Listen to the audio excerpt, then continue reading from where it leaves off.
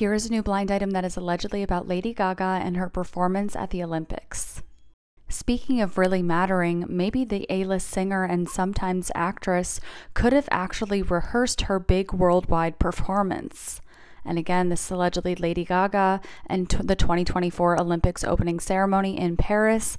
And this blind item is suggesting that she did not rehearse for the performance.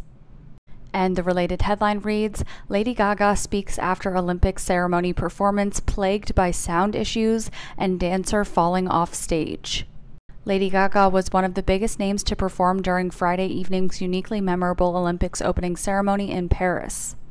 Gaga took to a specially built stage to give a performance inspired by French cabaret. She sang a well known French circus song. Poker Face Singer was the first musical act of the night and appeared to experience some sound issues that fans on social media were quick to note were marring her performance when she sat down at her piano to sing. One also took issue with her vocals, calling her accent French adjacent. Events weren't helped when one of their dancers fell off the stage, no doubt wet and slippery after the torrents of rain that fell earlier in the evening. BBC footage captured the dancer falling backwards and landing on the floor behind a speaker, where he lay flat on his back for a few seconds before recovering and continuing the routine.